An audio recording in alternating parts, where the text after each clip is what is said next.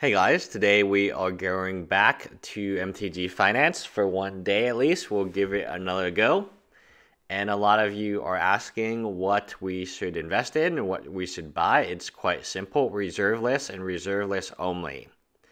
Even something as bad as Multani, and this card is, was always bad.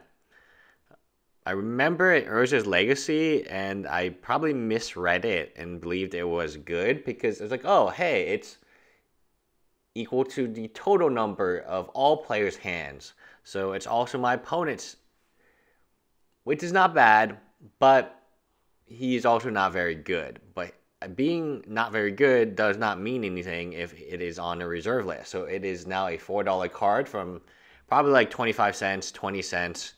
There are plenty of really good reserve list cards in Urza's Legacy and Urza's Urza's Legacy and Mirage. I think Mirage is the one I would target. Homelands is kind of interesting because Homelands is so cheap, but the cards are very weak. So if a card like Multani has any ability to see EDH play, it will see EDH play.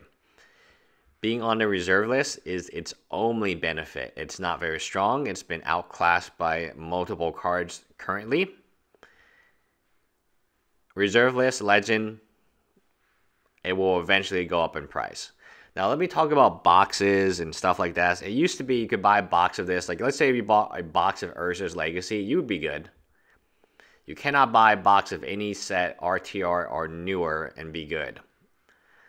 And the exception could be Modern Masters 1, but Modern Masters 1 will lose value. Here's why. They're going to keep reprinting that Tarmogoyf. They're going to re keep reprinting that Aether Vial. Nothing is sacred. And the problem Modern Master 1 and Modern Masters 2 and all these Modern Masters have is the same problem that any set has in Modern reprints into Oblivion. Now, I know people say, oh, well, I enjoy drafting it, I enjoy it as a collector's item. That's a very small subset of people the majority of people want to roll the dice. That's why when you look at Future Sight, the price has stagnated and or gone down a ton. Future Sight boxes, and it's not because there's more of them. They can only ever be less. It's just that that pulling that Tarmogoyf does not mean as much now. The fact that Tarmogoyf is seventy dollars. So Lotus Vale, I did call this card. You can watch my older videos. I said this card is the card I would put my money in and I did. Vale, Lotus, reserve list. Am I surprised it went from $10 to 40 No, not at all. It has Lotus in its name and it's on the reserve list. That is two very unique things. And Weatherlight, Weatherlight has some really good reserve. Essentially, what I'm trying to tell you is the only investment or speculation I can see is cards on the reserve list. If they're not on the reserve list, they're not worth buying, in my opinion. Here's another one that I invested heavily in Scorch Ruins. Um, I have a lot of Weatherlight, and these cards used to be bulk, and they are in my bulk. You think I'm kidding, but I am not. So the it spikes up a ton because of the Eldrazi and they need a colorless mana, and they're like, oh, this is colorless mana, great. But I always knew this was an EDH card, and I always knew it was on a reserve list. A reserve list land, like Lake of the Dead, for instance, I think that still has room to go. The Alliance lands, anytime you have a land, legendary or not, and it's on a reserve list, and it has the potential to see play in EDH, it's going to be pricey. Maybe not today, maybe not tomorrow, but eventually it will spike. I have no interest in modern cards. I have no interest in standard cards. I have no interest in boxes. I have no interest in booster packs. None of this stuff is relevant today, in my honest opinion. Unless the booster box actually has reserve list cards in it, then obviously that's relevant relevant that the single cards in it are going up in price. So if you look at the Alliance box, Alliance really only had Lake of the Dead's pretty good, but it only really had Force of Will. Force of Will uh, uncommon just makes the Alliance box worth opening, but now Force of Will got cheaper. Or Tempest, the Wasteland got cheaper, but some of it was offset by Ancient Tomb and stuff like that. Regardless, my point being, older boxes will be okay because they have re- reserve list cards and they have cards that are more are gaining value. The newer boxes, modern boxes, especially RTR and beyond and sooner, they have no hope. There is no hope. Journey into Nyx, and even even if there was hope, it would be hope for a brief moment in time, and then they would reprint the most valuable card, like Thoughtseize, for instance. You thought that, hmm, hey, maybe if I held on to my Theros boxes and Thoughtseize got super expensive, I would be okay. Nope, not okay. You'd be like, oh, what about these God cards I could get? Nope, eventually they will be reprinted too. And here's the here's the honest truth. And you guys want someone to tell you MTG Finance is very easy now. It's so simple, anyone can do it. You don't need to listen to podcasts. You don't need to wait a month for the paywall to go off in Star City Games. You don't need to do any of this. It's super simple. Old cards good, new cards bad. You couldn't this is not the back in the day. I made a very good call on Underworld Connections. I bought a ton and I have my TCG player receipt for it. Eight cents. I bought 200 copies at eight cents, eight to 10 cents a copy. They became 299. I was able to trade four of them into a Shockland all day. Those days are gone. Those days are gone. You're never going to find an Underworld connection because the problem is there's just too many boxes. And yes, maybe they have less rivals of Ixalan, blah, blah, blah, blah, blah. But at the end of the day, you cannot compare today's box run with the big box retailers like Target and Barnes and Nobles and Walmart with something like Urza's Legacy, where the only place I knew to get it was either from Wizard Coast's own game store or Radio Shack. Walmart did not. Was Walmart around? I think we, yeah, I think Walmart was around when I was younger in my neighborhood. Uh, we just never shopped there because we shop local.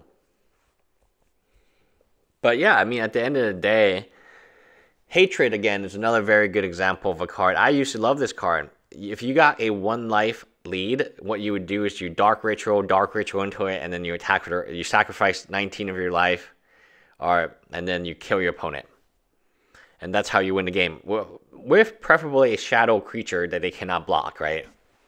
So Hatred is a really fun card, and I'm not surprised to see it go up. All these cards on the reserve list, even if they are slightly good, kind of good, Hatred's also pretty good, fun card for Infect, uh, just as a casual card.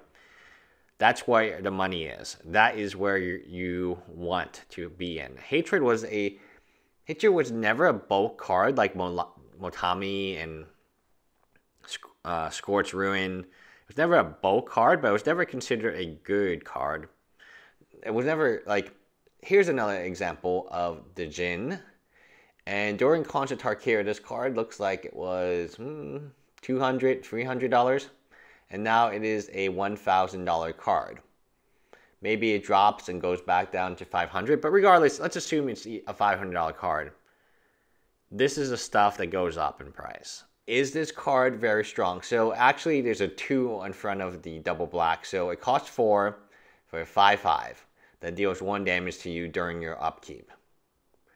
Would this card, if printed, reprinted today, any standard set set, be considered very powerful? Absolutely not. But it is collectors. It is it was one of the most powerful cards at the time. And if you're going to play old school, this is the one you want because in old school, creatures were incredibly weak, spells were incredibly strong, and that is the reverse of what we have today. Today we have just all types of amazing creatures for four mana, right? Five five. I mean, literally, if this card was printed today, it would be laughed at. It could not even be printed as a rare. Don't even think about printing this as a mythic. It cannot be printed as a rare because it's too weak. 4 mana for 5 5 with double black that costs you 1 life a turn. Mm-mm-mm, not worth it. I mean, for 4, you can get the Mind Sculptor in Modern Oh, sorry. In Legacy, you can get Jace the, Mind Sculptor.